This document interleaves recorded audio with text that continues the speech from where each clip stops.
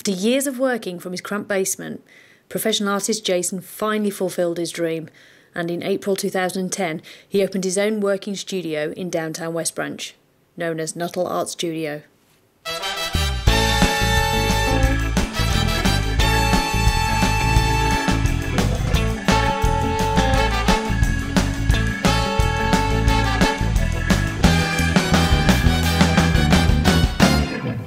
This is the studio, the, the first part of the studio. There are two different parts. Um, this is the hottest room because there's no uh, no window or anything, but this is. Um, I've got artwork on display, artwork in the process of working on, um, more works in progress. My BB King cookie jar that hasn't been, hasn't seen the light of day very much, other than in the studio. And uh, I've got my Popeye series up, still working on that, uh, based on the movie of Popeye. This is the 30th anniversary, so it fits pretty fits in pretty well. Some of my little memorabilia of Sergio Aragones at the comic convention, holding the rattle that I made for him. It's a ceramic rattle, um, and Stan Sakai up above holding his rattle. Actually, you can, if you can see, they're showing each other the rattles that I made for them. And because of those pieces, um, I was able to get this drawing that Sergio did for me, which is great, something I've been waiting for all my life. Um, he did a caricature of me, actually, which he never does, um, and a caricature of himself working on the rattle. And this is a picture of the three of us together. And still advertising for West Branch, West Branch Children's Film Festival.com. This is from a live model. I've been, because of the studio, I'm able to get more um, I can have models come in and pose uh, while I'm drawing them or take photos and draw them later, but she, this, uh, this model came in and modeled for me. This was her payment I did a drawing for her so that she was able to take home. Decided to make a flyer out of it.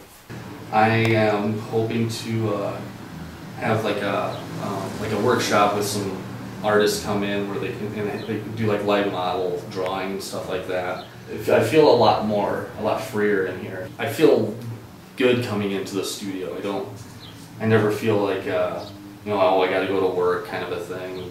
You know, dragging my feet. It's it's been a very positive thing. I feel good about it.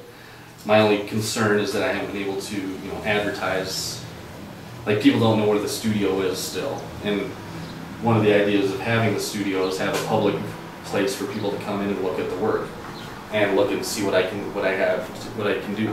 Um, another thing I've been trying to do is enter more shows, more um, more exhibits. I had a piece. This piece over here was entered into an exhibit downstate at the Birmingham Bloomfield Art Center, uh, which I guess was a huge uh, huge thing. I didn't realize it was. Uh, such a big thing that I entered. It was the first time I ever entered it, and I, got it, got the painting accepted into it. Um, I guess that was a big achievement because some artists have uh, entered like four or five times and never got in. Studio is more about you know people coming in just to look at stuff, not necessarily a business kind of a thing. I'm not trying to get people in here to buy. I just um, one of the reasons I wanted the studio was to have um, for people to, of any age to come in and just be able to see what an artist does. Because if I had something like that when I was a kid, I would have loved it. I would have been coming in all the time, see what the wow, what they were doing and whatnot.